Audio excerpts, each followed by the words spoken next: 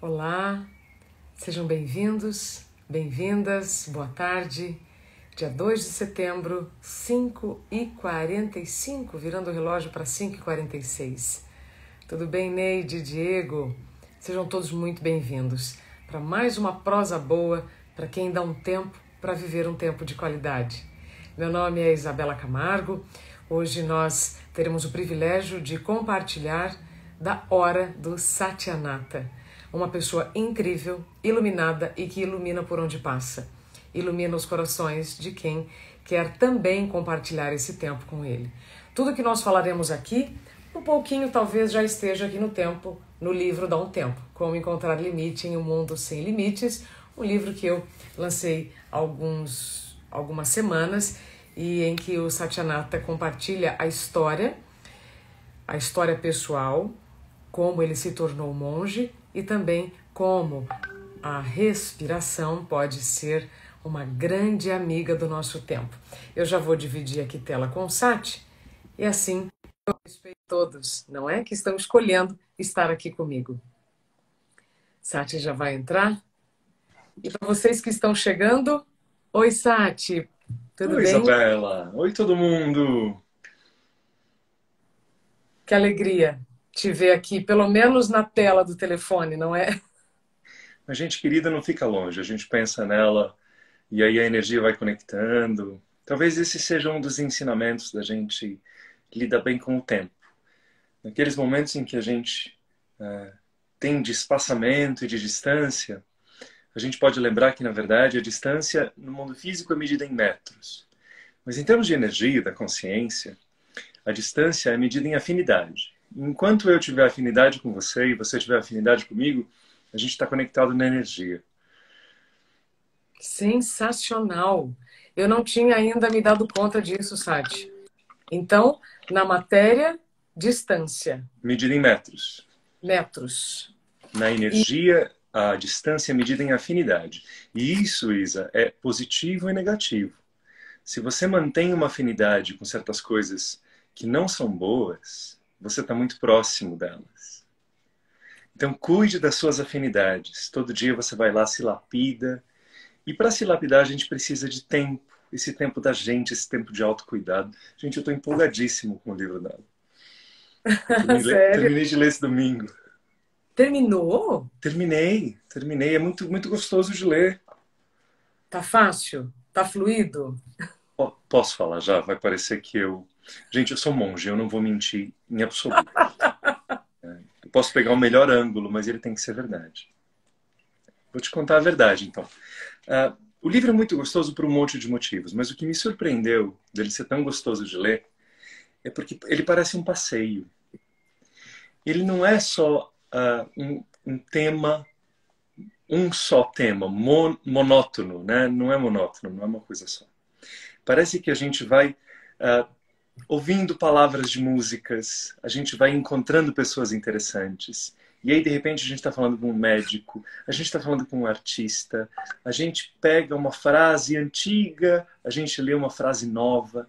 Então, é uma jornada tão rica que acabou tornando muito gostoso de ler, porque é, eu, eu tenho vontade de conhecer todas essas pessoas. Quando eu leio que tem uma frase do Carl Sagan, eu falo, nossa, que legal. Quando eu vejo que cita uma música dos Titãs, eu falo, nossa, que legal.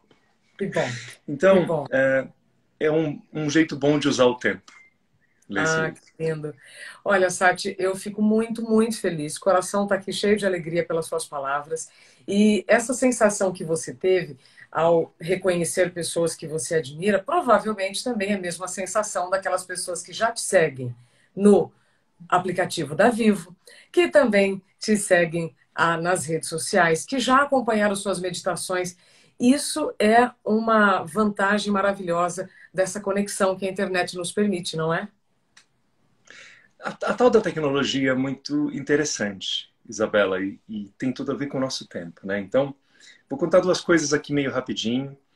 O tempo é seu. Para ilustrar e porque é super interessante para a gente. Primeiro que tecnologia, ela é algo que devia potencializar o que a gente tem de bom. Ela devia servir. Então, por exemplo, lá na Índia, milhares de anos, quando inventaram uma tecnologia nova, que é a palavra escrita. inventaram a escrita. E aí tinha um monte de textos lá que eram sagrados. E as pessoas não confiavam nessa novidade que era escrita. Não confiavam. Não, não confiavam. Então não eram textos sagrados, eram assim mantras. E eles rimavam, sabe como musiquinha de criança? Na, na, na, na, na. Rimava para você lembrar. Então as, os, ah, as palavras sagradas indianas, elas eram toda, todas transmitidas oralmente. E veio uma tecnologia nova, a escrita, e eles demoraram 400 anos para escrever o que eles tá sabiam. Então eles desconfiavam e tal. Hoje em dia, a gente sabe que foi uma perda de tempo aqueles 400 anos. Claro que o conhecimento deve ser transmitido, veja, através da escrita. É super legal. Mas qual que era uma raiz interessante lá? A tecnologia, ela tem que servir para fazer o bem e para expandir o que a gente tem de melhor. Senão ela é uma encrenca. E aí é como ter um carro. O carro é maravilhoso contanto que você vá para os lugares certos que você dirija com cuidado. E, e as tecnologias da mente também são assim. Então, uh, coisas que me permitem conversar com. A gente está conversando aqui com quase 200 pessoas nesse instante. Vocês estão ouvindo a minha voz. Isso é absolutamente maravilhoso. Você percebe como isso aumenta a minha responsabilidade de trazer algo útil? Então, a tecnologia é super legal, mas ela deve servir para a gente fazer alguma coisa que tem a ver com a nossa verdade e não perder tempo, ganhar tempo e não perder tempo. E aí eu quero mencionar uma coisa. Tem um paper, é, uma, uma tese, escrita por um economista inglês chamado John Maynard Keynes, que é das possibilidades econômicas dos nossos netos. E aí ele pensa assim, lá em 1930, ele fala assim, com o avanço da tecnologia, as pessoas ou vão poder trabalhar muito menos, porque elas vão ser tão mais produtivas. E aí vão se dedicar à arte, ao amor, à alegria, ao bem-estar. Perdão? Criatividade. Criatividade. Ou elas vão se dedicar a uma vida melhor, ou elas vão inventar necessidades ilusórias e vão trabalhar loucamente. Claro. 1930. Imagina só o que, que a gente escolheu. Mas a boa notícia é que eu acho que essa escolha de ter tantas necessidades ilusórias é temporária. Eu acho que livros como o seu e movimentos como a gente está vendo em toda a humanidade de busca de qualidade de, de vida agora, não quando eu me aposentar, agora. Agora. Esse tipo de descoberta que a vida é para ser vivida a cada instante, que cada instante é precioso e que ele tem que ser investido com mais cuidado do que você investe o seu dinheiro, no, no banco da eternidade, você vai pondo os seus segundos ali. Essa descoberta, eu acho que vai preponderar nas próximas décadas. Então, aquele economista lá falou: ou a gente vai viver uma vida melhor, ou a gente vai criar necessidades ilusórias. Eu acho que a gente foi por um caminho, mas era um beco sem saída. E a gente vai voltar e pegar outra estrada que ele sugeriu lá atrás. Vamos viver com mais qualidade e utilizar o aumento da produtividade para a gente fazer bem e depois viver bem. Pronto, já falei muito, sua vez. Imagina essa, essa colocação que você trouxe. É, na década de 90, nós tivemos um filme, é uma trilogia, né, que eu até abro o livro. Um casal não tinha internet nessa época, não tinha telefone celular, né? E nesse filme, Antes do Amanhecer, é uma trilogia, é quando o casal se encontra e eles dizem, né? É, as pessoas dizem que a tecnologia traz tempo, né? Mas o que, que elas fazem com esse tempo? Eu nunca vi alguém dizendo que ganhou tempo e foi para o mosteiro Zen. Né? É, com, é com essa frase que eu abro o livro e a partir deste trecho é, foi onde eu comecei então a desenvolver todos os outros capítulos. Então foi lindo você trazer isso porque é exatamente o que eu começo a provocar. O que, que nós estamos fazendo com o tempo que temos de sobra a partir das tecnologias que estamos escolhendo para nos poupar tempo. E aí, Sati, é, eu lembro quando nós conversamos, bom, para quem ainda não leu o livro, na, na, no livro nós compartilhamos né, um trechinho do, da mudança. 224. De... Ah, que lindo! É, a mudança de estilo de vida do Sati e depois um pouquinho sobre é, o quanto nós tranquilizarmos a nossa respiração, tranquiliza também os nossos pensamentos. Mas, Sati, é, de uma forma assim muito prática para quem está aqui, é, você viveu antes dos 30 anos o que muitas pessoas acabam vivendo muitas décadas depois, ou seja, você não entrou naquela esteira do preciso, tá todo mundo fazendo, eu preciso ir, você conseguiu parar, buscou sua elevação e aí continuou. Você pode contar assim para quem ainda não leu o livro, para quem ainda não sabe da sua história, como é que foi essa grande mudança? Posso, posso sim. Uh, eu nem sempre falo de mim, mas se, a, se essa história ajudar os outros, estou aqui para falar. Então vamos lá. Eu não tenho nada demais, gente. Eu, eu acho que a história que eu vivi é extraordinária, mas eu, o mais legal é que eu não tenho nada demais. Então dá para vocês fazerem certas coisas que eu fiz. Não exatamente, porque cada um tem um caminho, mas eu vou explicar. Então, um menino nascido no Brasil, assisti os mesmos programas de TV, li Monteiro Lobato, e aí foi crescendo. E uh, quando eu estava no início dos meus vinte e poucos anos, eu comecei a ter um aperto no coração. Acho que eu tive a minha crise de meia-idade aos 22. Então, vejam, não é que eu tinha mais paz e mais tranquilidade. Eu tinha menos. Eu estava com um déficit maior. E aquilo foi me apertando, eu tinha um emprego bom, eu estava fazendo uma transição, estava nos últimos últimos semestres de uma faculdade, já trabalhando em São Paulo, trabalhando com consultoria, e aí, ah, coração apertado. E aí, que, que a gente faz quando a gente não está bem? Põe a culpa em alguém. Não, eu vou trocar de empresa. Eu troquei de empresa. Não deu certo, continuava angustiado, vou trocar de namorada, vou trocar de carro. E na verdade o que eu fui descobrindo, porque ao mesmo tempo eu lia livros sobre espiritualidade. E eu não tenho escolha nenhuma de espiritualidade. Para mim não importa uh, se é de uma religião ou de outra religião. Eu acredito nessa bênção, nessa luz, nesse amor infinito que conduz a cada um de nós. E aí existem grandes seres que nos contam como ir seguindo esse caminho, grandes, muito maiores que a gente, que nos contam como ir seguindo esse caminho. Mas cada ser humano é amado, tem uma fagulha divina. Você tem uma fagulha divina em você, e inclusive uma responsabilidade que a gente tem de usar o nosso tempo para encontrar e depois expressar essa fagulha divina.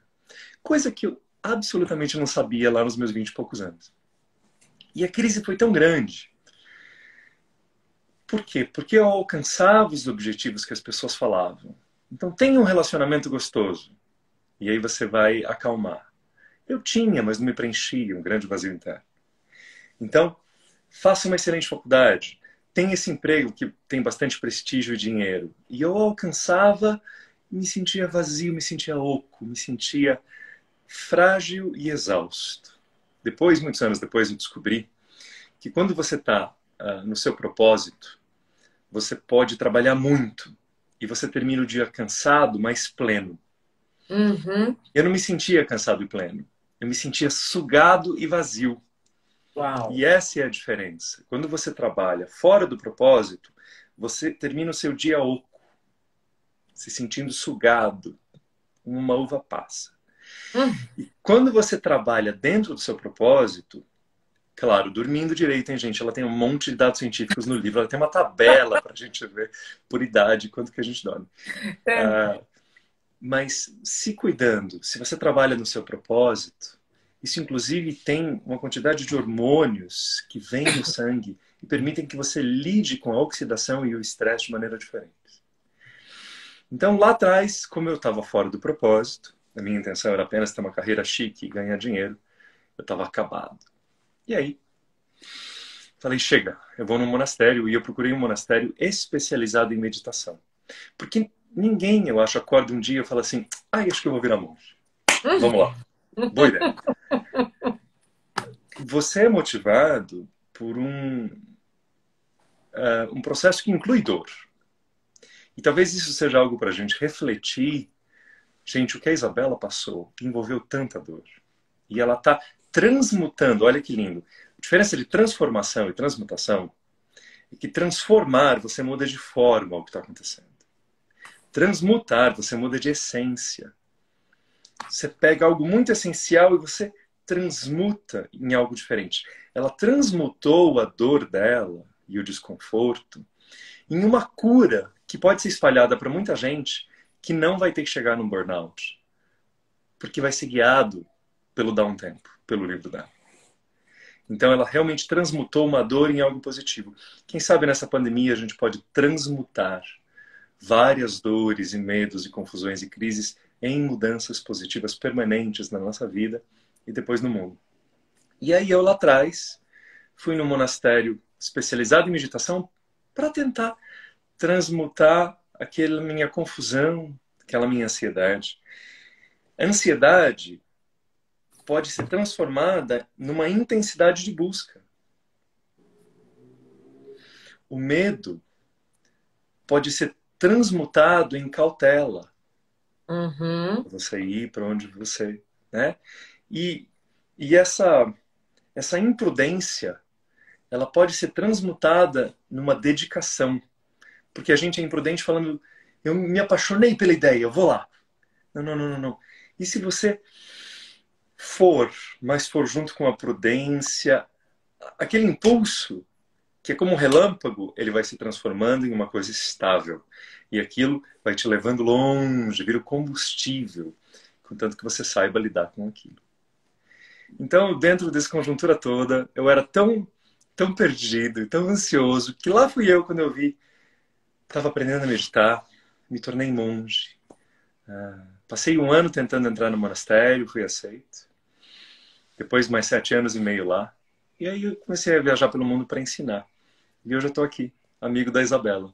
Deu tudo certo. Deu tudo certo, Sati. Que a sua história é tão linda. Toda vez que eu ouço, eu fico assim muito grata por pela. Na verdade, quem nos conectou foi a Mariana Ferrão. Sou grata sempre para sempre por essa conexão linda.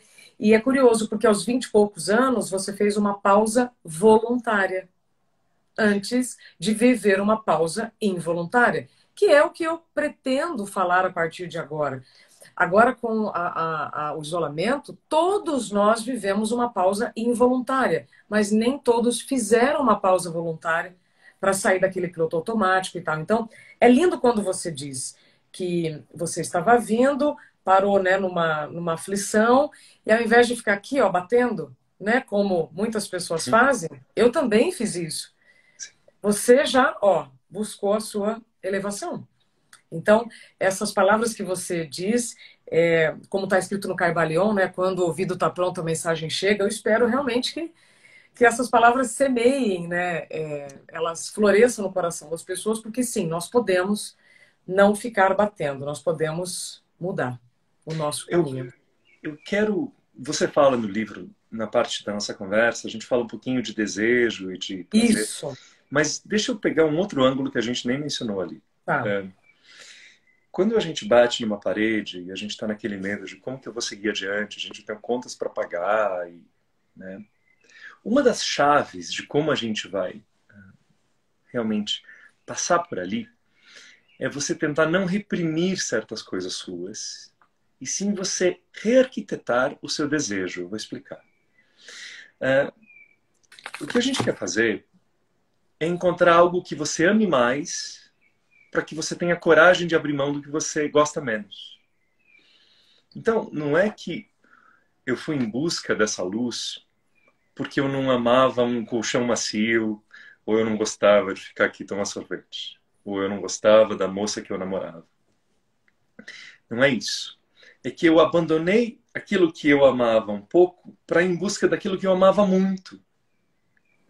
Então, às vezes, se você está precisando na sua vida de uma coragem de fazer uma mudança, e você não está encontrando, está batendo ali, como a Isabela falou, não é que você precisa reprimir os seus medos, mas encontre um refinamento dos seus desejos. O que, que você deseja mais? Eu estava conversando com uma pessoa esses dias e tentando ajudá-lo a enxergar que ele aspira muito ser um pai amoroso, presente, que tenha clareza e um sorriso no rosto. Mas aí, numa loucura da cabeça dele, ele acha que ele não pode porque tem que trabalhar 20 horas por dia. Wow. Então ele precisa entender, e aí eu fui guiando, ele precisava entender que na hierarquia de necessidades da filha, um pai que sorrisse era mais importante do que o dinheiro para ir para Disney. Uau. Então você precisa se apaixonar por alguma outra coisa. E no momento que ele se apaixonou por ser um pai que sorri, ele conseguiu fazer uma manobra para mudar a vida. Então, se está difícil você se manobrar, tente buscar os seus amores maiores. O que você amaria ser? Mas lá em cima, e isso vai te dar combustível. É lindo, porque os desejos eles acabam nos distraindo demais quando você diz, né? Refinamento do desejo. É, isso para mim me lembra a palavra filtro. É. Filtro, curadoria, né? E aí vem muito da questão, e eu, eu, eu vejo isso em muitas falas sua, como é que eu posso escolher, como é que eu posso estar aqui de verdade, se eu quero estar em vários lugares, se eu estou desejando muitas coisas. E aí você me disse aqui agora, né? É, a pessoa tem muito, mas nada a preenche. Isso provavelmente deve se ter, ter, se potencializado nos últimos tempos, né, Sati? Isabela, eu acho que você conhece tão bem, uh, provavelmente melhor do que eu, essa sensação uh, de ter vários alarmes que vão tocando antes da crise ser irreversível. Então, um deles é o vazio. Hum. A gente tem um monte de sistemas que vão dizendo assim: olha, não tá legal, não tá legal. e um deles é esse vazio irreversível, que na verdade é uma saudade de si mesmo. Tô com falta de mim. Onde que eu me larguei? Onde que eu me esqueci? E não de uma maneira egoísta, de você se permitir assistir um filme e comer uma pizza. Não, não, não, não.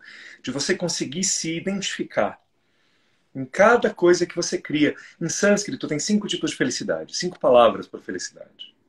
Tá? Uma é o contentamento de ter um teto. Simples assim, não está chovendo em mim. Tenho, tenho que comer. O segundo é piti.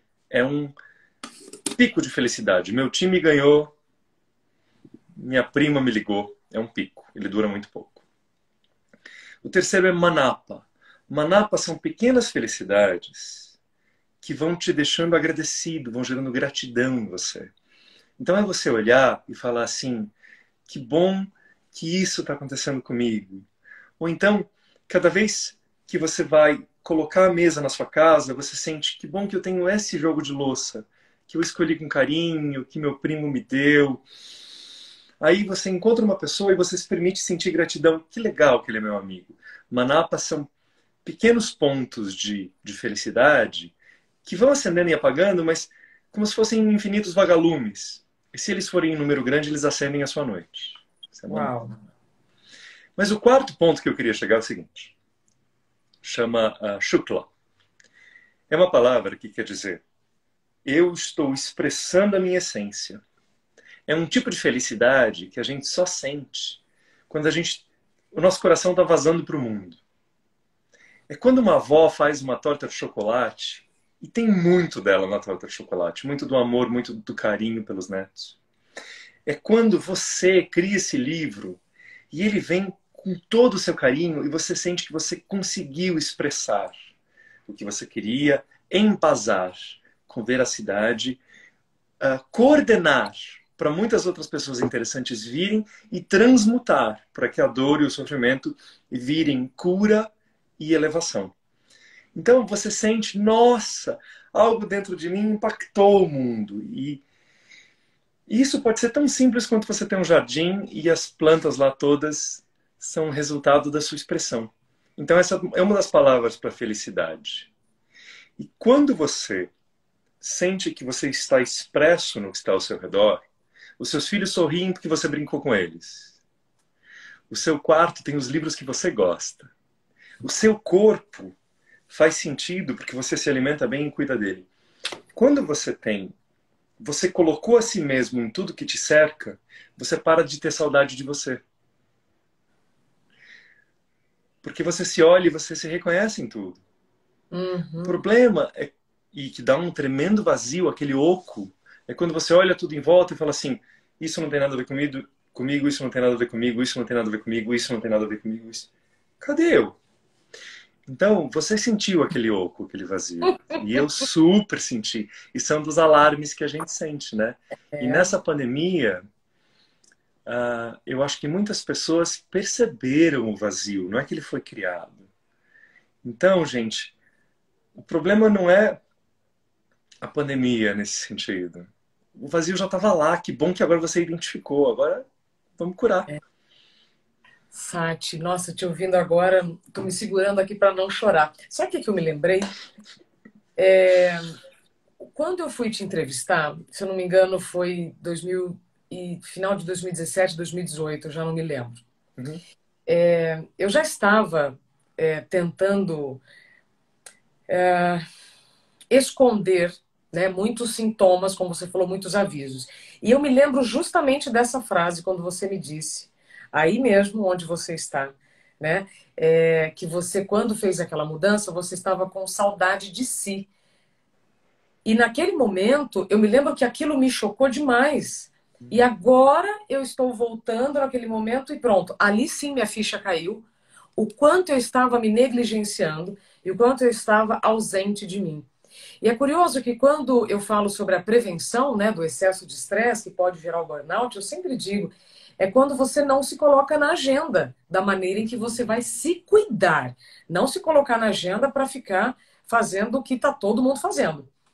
E agora me caiu essa ficha. Por que, que quando você me contou da sua história lá atrás, aquilo me emocionou tanto? Eu me lembro de ter chorado naquele momento. Falando, nossa, ou seja, eu sentia e nem estava sabendo o que eu estava sentindo. A nossa história é tão parecida, Isabela eu me sinto uma grande afinidade com você. Como eu sinto uma grande afinidade com qualquer buscador que escolheu um caminho que não era o dele, trilhou com toda a dedicação, porque é um guerreiro, é um lutador, é focado, vamos, vamos, vamos, vamos, vamos. E aí foi salvo por uma catástrofe. Foi salvo porque a alma disse assim: eu não vou patrocinar isso aí. Você vai voltar para sua luz. E aí a gente quebra a cara e volta. Fomos salvos por uma catástrofe. Nossa. Olha que frase agora que eu já, que eu já anotei aqui. Sati, é, antes de passar para respiração e pensamentos, porque eu sinto assim. Uh, todos os dias agora, quando eu abro minhas lives, eu digo uma coisa que eu falava lá no interior. Vamos chegar? Quando você vai visitar alguém no interior, né, você sempre fala, entra, né, vamos chegar. Então, entra, vamos respirar, né? Para a gente chegar aqui com corpo e mente e alma, porque senão de tela em tela, às vezes a gente está até diante de alguma coisa, mas o nosso pensamento ficou em outra situação. Né? Mas antes de passar para a respiração e para o trabalho maravilhoso que você vem fazendo agora, Sati, é, quando você disse sobre o vagalume e sobre esses pequenos momentos de felicidade e como eu também sou responsável por, pelo meu redor, o jardineiro cuida de um jardim não para ele.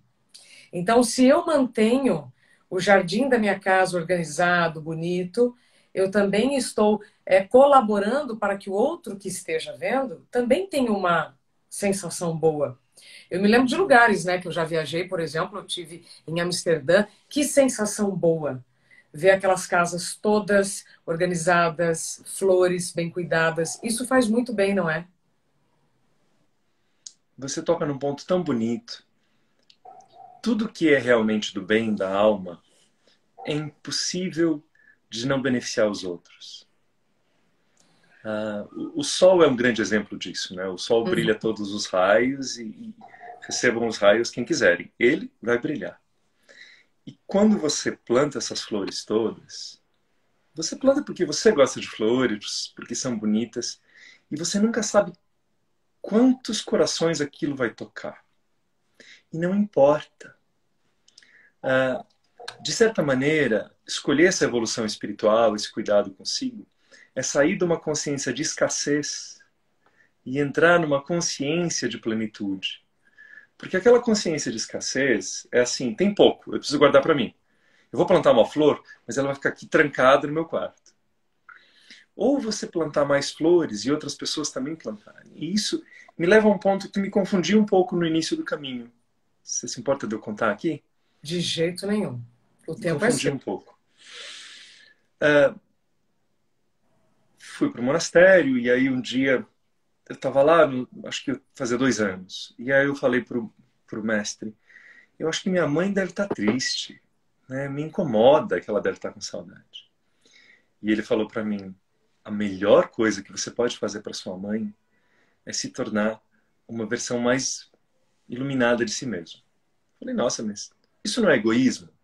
Tô aqui me cuidando, vou ficar ao máximo. E aí ficou dando tchauzinho da janela. Falou assim, isso só se vocês não tivessem muito conectados. Quando você vai se conectando e coligando com outras pessoas, o maior presente que você pode dar para o mundo é uma versão melhor de você. Porque se você se arrebentar para criar um projeto, você deu para o mundo aquele projeto e talvez seja ótimo. Mas se você criar uma versão melhor de você, o seu impacto não vai ser só aquele um projeto. Vai ser projetos vários, vão ser projetos. E também vai ser uma emanação que naturalmente irradia de você, sem você perceber. As flores não sabem quantas pessoas as olharam. E se você está vibrando uma vibração de mais paz, mais coerência, de repente, numa fila, você dá um sorriso e fala assim: bom dia. E aquilo muda o dia da pessoa. A, a sua vibração vai contribuindo para devagar as pessoas entenderem outras coisas. Então, quando você cuida de você para criar uma melhor versão de si mesmo, você está dando um presente para o mundo. E o presente é você nessa versão menos egoísta, mais disposta a compartilhar. Então, eu perguntei para o meu mestre, mas não é egoísmo eu cuidar de mim? Ele falava, só se você achar que o mundo não te merece de presente. Você não daria um vaso quebrado para alguém. Então, por que, que você quer se dar todo pifado para o mundo? Meu se cuide, pai. se proteja. E aí se dê para o mundo. Uau! Mais uma né? Realmente. O Sati, me dá só um minuto que eu vou acender aqui a luz. Vai lá. Estou aqui com um monte de gente legal. eu, a, gente começou, a, gente começou, a live, estava entrando um sol lindo aqui. E aí, agora, o sol se pôs, Anoiteceu. né? Tempo Ele da natureza. Pronto. O Sati, nós temos é, quase, é, deixa eu ver, 15 minutos dentro do nosso combinado. E aí, eu, eu quero, bom, primeiro fazer um convite para quem ainda não acompanha o trabalho do Sati, né, no Instagram, Satyanata, como está escrito aqui em cima, Sati com Y, A-E-A-T-H. Para quem está chegando agora, olha, 303 corações já passaram aqui pelas minhas contas, Sati, mais de 2 mil pessoas, né? Porque uhum. a, a vantagem também da tecnologia é que depois cada um vai poder acessar né, aqui no IGTV e lá no YouTube a hora que puder realmente é, acompanhar toda a nossa conversa e vai acompanhar a conversa toda. Então, para quem está chegando agora, sejam bem-vindos, vamos chegar, respirem. Que o intervalo entre a inspiração e a expiração, Sati, é o que a gente chama de tempo, porque o dia que a gente inspirar e não expirar significa morte, não é? Então, essa respiração é, é vida. E depende de como eu estou respirando, uh, tem umas coisas super interessantes sobre respiração, muitas. Isso que você está falando de respiração ser vida, é considerado que a vida se inicia na primeira respiração do bebê. E na Índia eles falam, e é metafórico, não é científico exato, mas é um grande ensinamento. Eles falam que a gente nasce com um número contado de respirações. E se você fizer essas respirações mais devagar, mais longas e mais profundas, você vai viver mais. Olha. E isso naturalmente veio do fato de que eles devem ter observado que quem respira assim, e quem fala assim, e quem. Então, tá muito apressado e dura pouco. E que aquelas pessoas que aprofundam a respiração têm o mesmo número de respirações, mas vivem três vezes mais. Com certeza. Deu, deu, deu para pegar. Pegaram? É. Pegaram. Depois, então, a gente assiste de novo, tá? Para consolidar realmente tudo que o Sati está dizendo. Sati, é, antes, deixa eu só fazer aqui uma, uma observação. Você está dizendo coisas muito profundas, transformadoras e simples. Mas o simples é o que mais incomoda a gente, não é? E aí, aqui no seu Insta tem um texto lindo. Tá escrito ali, é preciso um tempo. E eu fiquei aqui parada no seguinte trecho: é preciso um tempo no qual o simples seja regra e norma, onde a verdade seja evidente e fiel. Olha, que sintonia! Eu lembro quando eu escrevi isso e eu sinto com todas as fibras do meu coração essa necessidade. Porque cada vez que eu caminho pelo mundo e eu vejo as pessoas sofrendo, eu vejo as pessoas batendo cabeça, eu vejo as pessoas uh, passando dores, passando doenças, passando fome. Eu me lembro de que a, a complexidade complicada e desnecessária ela oculta as soluções dos problemas. Como se a gente vivesse num mundo tomado pela névoa. E que, conforme é uma busca muito dedicada você buscar uhum. a simplicidade. Mas na hora que você encontra a simplicidade, ela traz uma resposta tão profunda e tão estrutural que tudo muda. Então, isso de você ter a simplicidade como norma, como regra, é uma aspiração que eu tenho para toda a humanidade. Porque os nossos vícios, os nossos medos, os nossos egoísmos, eles se escondem atrás de uma complexidade inventada. Quando vem uma criança bem pequenininha, Isabela, e fala assim: por que, que a gente não pode combinar de se amar? Por que, que as pessoas não podem ser boas? E todo mundo se ajuda. E o que, que a gente responde? É complicado. É complicado, quer dizer, olha, a gente já deu tantos nós nisso, mas a criança tem razão. Sim. Então, que a gente tenha coragem de ir em busca dessa simplicidade, porque ela é imensamente recompensadora e ela te dá uma versão verdadeira de você. Você teve que tirar tantas camadas de complexidades inventadas, de prioridades mentirosas que você tinha se imposto ou que você tinha comprado da sociedade. Alguém um dia disse para você: Olha, Isabela, você tem que ter X. E aí você vestiu aquela camisa. E aí a gente se despe em busca dessa simplicidade e é, ela demora para chegar, mas ela move o mundo. Ela é muito poderosa. É, que bom que é você gostou desse texto. Ele nasce de um lugar muito profundo do meu coração. Nossa, é maravilhoso. Eu, eu não, vou, não vou conseguir aqui ler todo, mas ele é inteiro, assim, do começo ao fim, maravilhoso. Né? E aí é, é preciso um tempo de amar. E para esse tempo de amar, é amar aqui primeiro, né? Vamos amar o nosso corpinho, vamos amar o nosso cérebro primeiro. E eu entendo, Sati, que a respiração é um ato de amor. Respirar, hoje eu aprendi isso. Claro que não é todo o tempo que eu consigo manter essa vigilância, mas eu já consegui reconhecer que a hora que meu coraçãozinho começa a acelerar e eu estou falando mais rápido, pera. Então, nesses seis minutos, Sati, o que você gostaria então de compartilhar conosco para quem está aqui ou que também vai acompanhar é, depois lá no YouTube? O que você gostaria de nos dizer sobre a respiração? Como ela pode então desacelerar os nossos pensamentos? Vou começar por algo que a Isabela acabou de falar, gente. Ela falou que respirar é um ato de amor.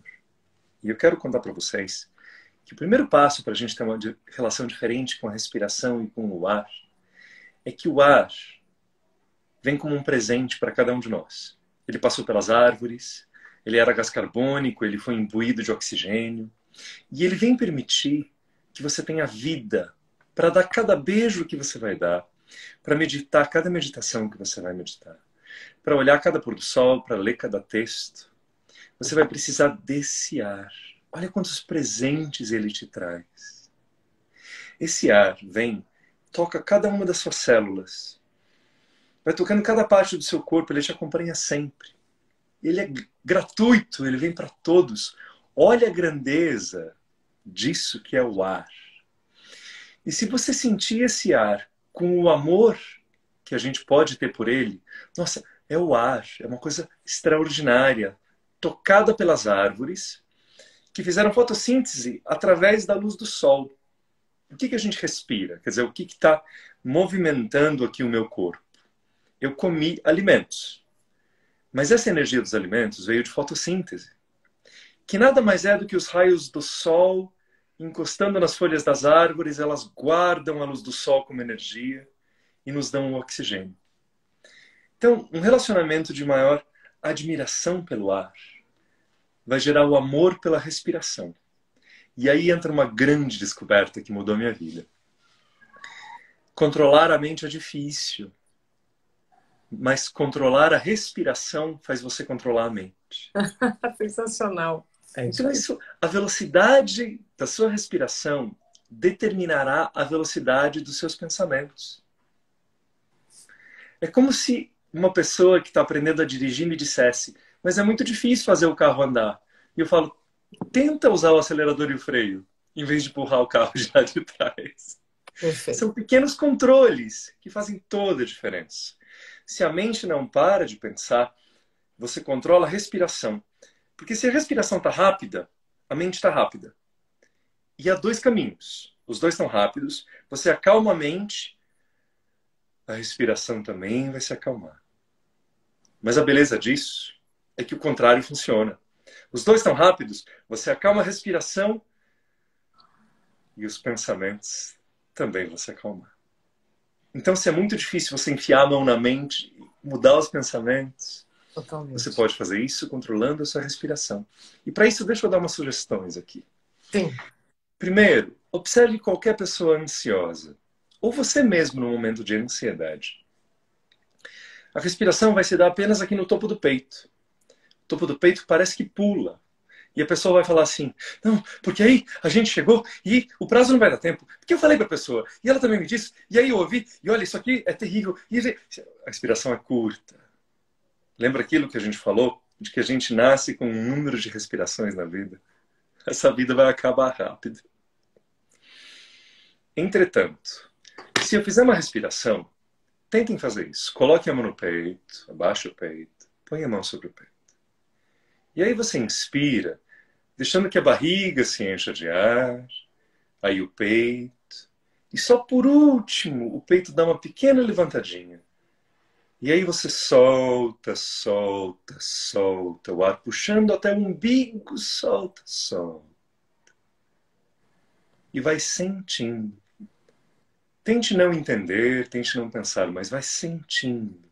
Sente o ar que entra, trazendo oxigênio, trazendo a beleza das árvores. Enche a barriga primeiro, o abdômen, depois o peito e só por último o peito se mexe. E aí ele solta, solta mais algumas vezes no seu ritmo. Inspire, primeiro o abdômen, ou seja, o diafragma, depois o peito, e aí só. Mais uma última vez. Inspire, encha bem o peito, vai parando devagar, sem forçar, e aí só. E aí comece a observar que a sua capacidade de concentração aumentou. Por quê? Porque você recebeu a sua inteligência de volta. Assim como um computador fica lento com muitos programas abertos, quando você exerce essa respiração, ele fecha os programas de trás e te devolve todo o poder de processamento para o programa da frente. Outra coisa que a gente aprende a fazer, Isabela, é fazer uma respiração que você enche o peito, sem forçar, você vai parando devagar. Atenção, não é para fazer assim. Não, não, não, não, sem tranco. Você enche o tórax. Suavemente você para e dá um, dois, três segundos. E aí solta. Mais uma vez. Você vai encher. Leve pausa. Um, dois, três. E nesses três segundos você vai estar ocupado, ocupada, existindo. Apenas sinta que você existe. Vamos lá. Respirando, enchendo o tórax. Para lá em cima, exista, exista, exista. E aí solta. Mais uma vez, inspire. Para lá em cima, exista exista, exista. solta. Porque a consciência do existir, ela vai dar qualidade ao fazer. Quando você faz e não coloca ali a sua essência, o que você faz sai oco. E aí você fica oco. Você sente saudade de você, porque as coisas ao seu redor não te representam. Mas o existir, ele faz vir à tona essa energia que vai dar a qualidade do fazer. E aí o fazer será diferenciado. O fazer será abençoado. O fazer será imbuído, encantado por uma energia que vem de você. Então, antes de fazer, existir, existir, existir. Que assim seja, Sati. Que assim seja para todo mundo. Todo mundo, gente. Não tem nada de mais isso. Olha, se você tem pulmões, funciona. se você tem pulmões e está respirando, você pode respirar um pouquinho mais devagar para pensar melhor, decidir melhor, reagir melhor, né, Sati? Que é uma, uma drenagem de energia tremenda se você não tiver ali consciência do que está acontecendo. Meu querido amigo, o mestre é como a vela consome se iluminando. Você iluminou aqui o nosso finzinho de dia e receba então um abraço bem demorado. Muito obrigada. Isabela, eu sinto seu carinho e eu sou seu amigo, de verdade. É uma alegria, uma honra. Parabéns pelo trabalho que você fez. Gente, o livro é bom de verdade. Estou encantado. Obrigada, Tati. Até Bom, breve, tá? Vamos juntos. Vai na luz. Beijo para todos. Boas respirações, gente. Boas meditações. Isso. Obrigada, Sati. Até mais. Deixa eu habilitar aqui os comentários para o Sati poder. Se você depois conseguir salvar, me mande o vídeo. Eu posso com também. Com certeza, com certeza. Até mais. Obrigada. Uma vida de beijos e gratidão, Sati. Tchau, tchau, gente. Boa noite.